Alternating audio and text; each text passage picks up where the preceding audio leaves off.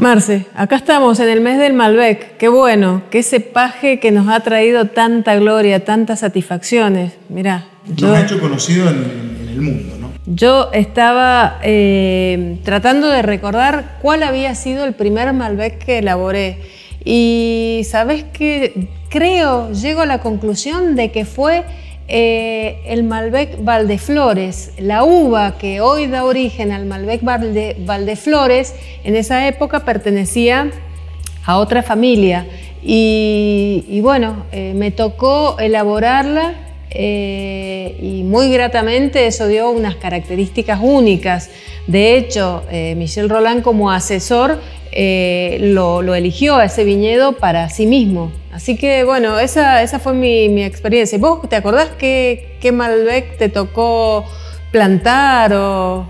Mira, con respecto a, los Malbec que, que, me tocó plantar, eh, eh, siempre haciendo referencia a Clos de los Siete, que es donde, donde yo empecé, eh, bueno, fueron los de Montevideo, ¿no? donde hoy día salen los Linda Flor, la Violeta y todo eso, fue el primer cuadro dentro del Clos que se plantó.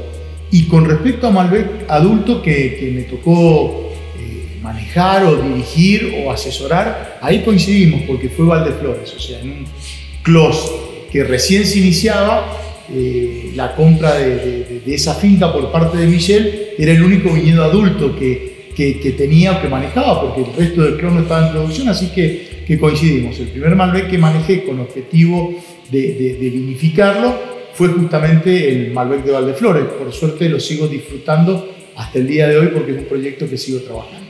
Otra cosa que, también a mí me, me, gusta de este cepaje, que vos donde lo plantes en la República Argentina, esto se da, se da bien, da distintas características.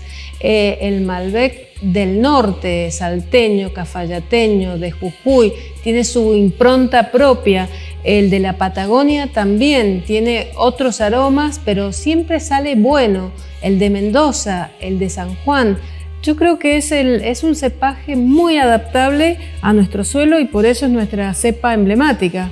Sí, sí, yo, yo coincido, sí me, sin dejar por ahí a zonas afuera, me parece que toda la parte desértica, digamos, pegado a la cordillera o cerca de la cordillera que va desde Jujuy hasta el sur, este, se adapta perfectamente y nos da una variedad este, magnífica o una expresión magnífica, este, no solo a nivel de, los suelos, sino también a nivel de clima, ¿no? que es lo que compone el, famoso terroir.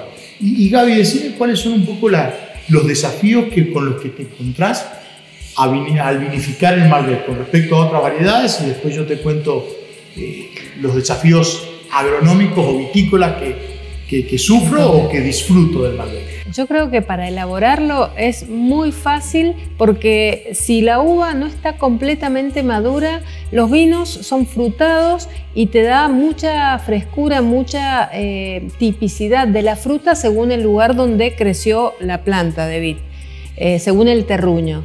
Y si la uva está madura en su punto justo, da vinos de guarda, vinos amplios, vinos suaves, con taninos muy redondos, eh, voluminosos, eh, con unas características que lo hacen muy agradable de beber. Entonces, eh, en sus distintas variantes, el Malbec siempre nos da esa característica de sucrosidad, de dulzura, de, de taninos bien fundidos y en realidad no, no podés escaparle. Es un cepaje que, no te defrauda y que si haces más o menos trabajos, siempre te va a dar un vino rico de tomar. En el viñedo tiene dos grandes ventajas este, o dos grandes disfrutes que, en lo personal eh, lo, valoro mucho. Uno es el, posicionamiento vertical que tiene la canopia, es una canopia recta, eh, erecta, muy, simple de manejar y por otro lado también es una variedad muy complicada a nivel fitosanitario, o sea, no tiene problemas en general de, de, oídio o de peronósporas. Puede complicarse por ahí a nivel botritis, como todas las variedades cuando el otoño es lluvioso.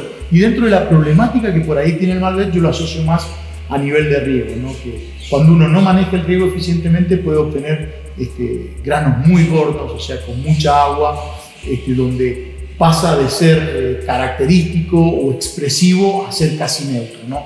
Y, también otro problema que puede llegar a tener en, algunas selecciones masales, que son las que hay mucho en, Argentina, es que, eh, bueno, con, con, exceso de producción también se llega a la neutralidad, o sea, pierde expresividad cuando uno riega mucho o cuando uno eh, produce mucho, ¿no? Pero por lo demás es una variedad muy, muy noble. Salud. Salud. Felicidad y disfruten de este mes del Malbec, tanto como lo disfrutamos nosotros.